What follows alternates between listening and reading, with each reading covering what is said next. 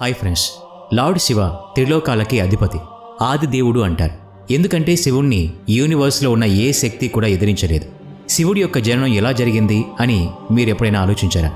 అలాగే శివుడి తల్లి ఎవరు? తన తండ్రి పేరేంటి? శివుడు ఎవరి దగ్గర శిక్షణ తీసుకున్నాడు? అలాగే శివుడు గురువుగా ఎవరెవరికి శిక్షణ ఇచ్చాడు? ఇలాంటి ఎన్నో ప్రశ్నల గురించి ఈ వీడియోలో మాట్లాడుకుందాం. అందుకని ఈ వీడియోని ఎక్కడా స్కిప్ చేయకుండా పూర్తిగా చూడండి. మరి ఇంకెందుకు ఆలస్యం? Let start our today's episode. ముందుగా శివ పురాణంలో శివుడి జన్మకు సంబంధించిన ఒక కథ గురించి తెలుసుకుందాం. శివ పురాణం ప్రకారం భగవంతుడైన శివుడిని స్వయంభువు అంటారు. అంటే అర్థం శివుడి యొక్క జన్మ అనేది స్వయంగా జరిగింది. శివుడికి తల్లి తండ్రులు లేరు అని మనం అర్థం చేసుకోవాలి. అందుకే శివుడు పంచభూతాల్ని కంట్రోల్ చేయగలడు. దీనివల్ల శివుడికి మృత్యు అనే భయం కూడా లేదు. శివుడికి చావు అనేది లేదు. ఇప్పుడు విష్ణు పురాణంలో చెప్పబడిన భగవంతుడు శివుడి యొక్క జన్మకి సంబంధించిన ఇంకొక కథ గురించి మాట్లాడుకుందాం. విష్ణు పురాణం ప్రకారం విష్ణువు నుదుటి వచ్చిన తేజస్సు కారణంగా శివుడి యొక్క జన్మ జరిగింది. విష్ణువు నాభిభాగం నుంచి బ్రహ్మ ఉద్భవించాడు. అయితే విష్ణువు జన్మ గురించి శివ పురాణంలో ఉంది. శివుడు ధ్యానం చేస్తూ రుద్రాక్షమాలను లెక్కిస్తూ ఉన్నప్పుడు ఒక రుద్రాక్ష నుంచి విష్ణువు జన్మించాడు. ఇక్కడ మీరు గమనించినట్లయితే విష్ణు పురాణం మరియు శివ పురాణం రెండు ఒకదానికొకటి పూర్తి వ్యతిరేకంగా ఉన్నాయి. ఇవే కాకుండా శివుడి జన్మకి సంబంధించి ఇంకొక పురాతన కథ కూడా ఉంది. ఈ కథ గురించి మీ ఇంట్లో మీ అమ్మమ్మ తాతయ్యలు చెప్పే ఉంటారు. ఇంతకీ ఆ కథ ఏంటంటే ఒకానొక సమయంలో విష్ణువు మరియు బ్రహ్మకి మధ్య పెద్ద ఆర్గ్యుమెంట్ జరిగింది. ఆ ఆర్గ్యుమెంట్లో ఈ యూనివర్స్లో ఎవరు గొప్ప అనే మాటలతో గొడవ పట్టం మొదలుపెట్టారు. అలా వీళ్ళిద్దరి మధ్య ఆర్గ్యుమెంట్ జరుగుతున్న సమయంలో శివుడు మెరుస్తున్న స్తంభంలాగా మధ్యలో ప్రత్యక్షమయ్యాడు. బ్రహ్మ విష్ణువులు ఇద్దరికీ కూడా అక్కడ ఏం జరుగుతుందో అర్థం కాలేదు. అప్పుడు సడన్గా ఒక శబ్దం వినిపించింది. మీలో ఎవరైతే ఈ స్తంభం యొక్క పైభాగాన్ని కనిపెడతారో వాళ్ళే గొప్ప అనే మాట వినిపించింది. అది విన్న వెంటనే బ్రహ్మ ఒక పక్షిలాగా మారి పైకెగడం మొదలుపెట్టాడు. విష్ణువు వరాహ రూపం దాల్చి స్తంభం యొక్క చివరి భాగాన్ని వెతకడానికి బయలుదేరాడు. అలా చాలాసేపు వెతికిన తర్వాత బ్రహ్మ విష్ణువులు ఇద్దరికీ కూడా స్తంభం యొక్క చివరి భాగం కనిపించలేదు. చివరికి వీళ్ళిద్దరూ కూడా ఓటమిని అంగీకరించారు. ఆ తర్వాత శివుడు స్తంభ రూపాన్ని త్యజించి అసలైన రూపంలోకి మారిపోయాడు. అది చూసిన బ్రహ్మ విష్ణువులకి ఈ యూనివర్స్లో అత్యంత శక్తివంతుడు శంకరుడే అనే కనివిప్పు కలిగింది.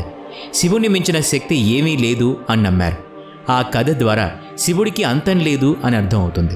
అందుకే శివుణ్ణి స్వయంభూ అంటారు. అంటే భగవంతుడు శివుడికి అసలు అంతం అనేదే లేదు. ఎందుకంటే శివుడు అమరుడు. శంకరుడికి సంబంధించిన ఒక ప్రసిద్ధ విషయం గురించి కూడా మాట్లాడుకుందాం. బ్రహ్మ శివుడికి తండ్రి అవుతాడు. ఈ స్టోరీ ప్రజల మధ్యలో చాలా ప్రసిద్ధి చెందింది. ఒకవేళ ఈ స్టోరీ నిజమైతే అసలు ఏ విధంగా శివుడు బ్రహ్మకి పుత్రుడవుతాడు? ఈ ప్రశ్నకు సంబంధించి విష్ణు పురాణంలో ఒక కథ కూడా ఉంది. విష్ణు పురాణం ప్రకారం భూమి ఆకాశం అలాగే ఈ పూర్తి యూనివర్స్ నీటిలో మునిగిపోయి ఉంది. ఆ సమయంలో విష్ణువు తప్ప ఇంకెవరూ కూడా లేరు. ఆ సమయంలో కేవలం విష్ణువు మాత్రమే నీటి మీద తేలుతూ ఉన్నాడు. ఆ తర్వాత విష్ణువు నాభి నుంచి ఒక కమల పుష్పంలో బ్రహ్మ జన్మించాడు. బ్రహ్మ విష్ణువుడు ఇద్దరూ కూడా ఈ యూనివర్స్ గురించి మాట్లాడుతూ ఉన్నప్పుడు మధ్యలో శివుడు ఉద్భవించాడు. అప్పుడు బ్రహ్మ శివుణ్ణి గుర్తుపట్టలేదు. అప్పుడు శివుడు అక్కడి నుంచి మాయమైపోయాడు. ఇదంతా గమనించిన విష్ణు బ్రహ్మకి దివ్య దృష్టి ప్రసాదించి శివుడి గురించి గుర్తు చేశాడు. ఆ తర్వాత బ్రహ్మదేవుడు తన తప్పును తెలుసుకుని శివుణ్ణి క్షమాపణ అడిగి పుత్రుడి రూపంలో తనకి జన్మించమని శివుణ్ణి అడిగాడు. అప్పుడు శివుడు బ్రహ్మదేవుడి ప్రార్థనని అంగీకరించి ఆశీర్వాదమిచ్చాడు. ఆ తర్వాత బ్రహ్మదేవుడు ఈ సృష్టిని సృష్టించే సమయంలో తనకి ఒక పిల్లవాడి అవసరం పడింది.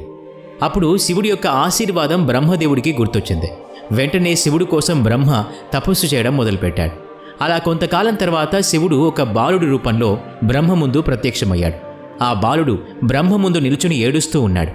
అప్పుడు బ్రహ్మ ఆ బాలుణ్ణి ఎందుకు ఏడుస్తున్నావు? అని అడిగాడు. అప్పుడు బాలుడు నాకు ఎలాంటి పేరు కూడా లేదు అని సమాధానమిచ్చాడు. అలా బ్రహ్మదేవుడు ఆ బాలుడికి రుద్ర అనే పేరు పెట్టాడు. ఆ పేరుకు అర్థం ఏడుస్తూ ఉన్నవాడు అని. ఆ పేరు పెట్టినప్పటికీ కూడా ఆ బాలుడు ఏడుపు ఆపలేదు. దాంతో బ్రహ్మ ఇంకో పేరు పెట్టాడు. రెండో పేరు కూడా ఆ బాలుడికి నచ్చలేదు.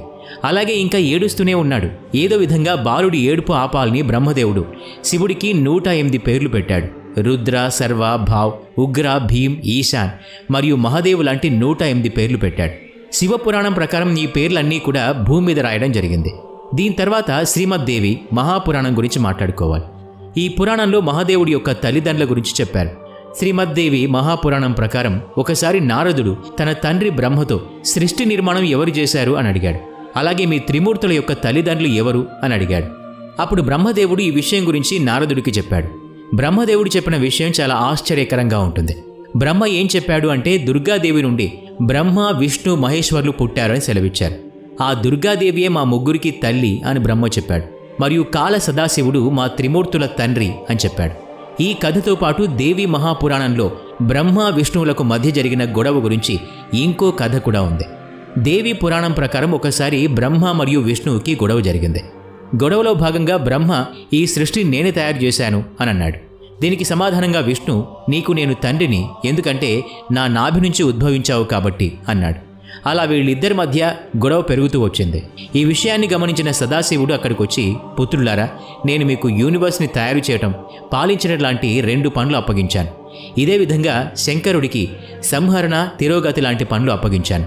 సదాశివుడు ఇంకా మాట్లాడుతూ నాకు ఐదు ముఖాలున్నాయి. ఒకటి ఆకార్ రెండు ఉకార్ మూడు ముఖార్ నాలుగు బిందు మరియు ఐదో ముఖం నుంచి నాథ్ అంటే శబ్దం ఉద్భవించింది. ఈ ఐదు ముఖాల్ని కలిపి చూసినట్లయితే ఓంకారం తయారవుతుంది. ఈ ఓంకారాన్ని మనం అందరం శివుడి మూలమంత్రంగా చెప్పుకుంటాం. సదాశివుడు ఇంత చెప్పిన తర్వాత శివుడి కంటే బ్రహ్మాండం మొత్తంలో ఎవరు కూడా శక్తివంతుడు కారు అని బ్రహ్మ విష్ణువులకి అర్థమైంది. దాంతో ఇద్దరు కూడా శివుడికి ప్రణామాలు చేశారు. ఇప్పటి వరకు శివుడి గురించి ఎన్నో విషయాలు తెలుసుకున్నాం. అయితే శివుడు ఎవరి దగ్గర శిక్షణ పొందాడు? శివుడి యొక్క గురువు ఎవరు అనే విషయం గురించి తెలుసా? మీలో కొంతమందికి ఈ విషయం గురించి తెలిసే ఉంటుంది. శివుడు పూర్తి విశ్వానికి గురువుగా చెప్పుకుంటారు. అయితే ఇక్కడ ప్రశ్న ఏంటి అంటే శివుడు ఎవరికి గురువుగా శిక్షణ ఇచ్చాడు? హిందూ పురాణాల ప్రకారం ఈ విశ్వానికి బ్రహ్మ మరియు శంకర్లు ప్రథమ గురువులు అవుతారు. వీళ్ళిద్దరూ కూడా ఈ సృష్టిని తయారు చేశారు. బ్రహ్మదేవుడు తన మానస పుత్రులకు శిక్షణ ఇచ్చాడు. అలాగే శివుడు తన జ్ఞానాన్ని ఏడుగురు శిష్యులకు ఇచ్చాడు. అంటే శివుడు ఏడుగురు శిష్యులకి గురువుగా చెప్పుకోవచ్చు. ఆ ఏడుగురు శిష్యుల్ని ఈరోజు మనం సప్త ఋషులు అని పిలుస్తూ ఉంటాం. ఈ వీడియోలో శివుడి జన్మ గురించి ఎన్నో విషయాల్ని తెలుసుకున్నాం. ఈ వీడియో నచ్చినట్లయితే లైక్ చేయండి షేర్ చేయండి. ఇలాంటి మరిన్ని వీడియోస్ కోసం ఈ ఛానల్కి సబ్స్క్రైబ్ చేసుకొని బెల్ ఐకాన్ మీద క్లిక్ చేయండి. నెక్స్ట్ వీడియోలో మళ్ళీ కలుద్దాం. Thanks for watching.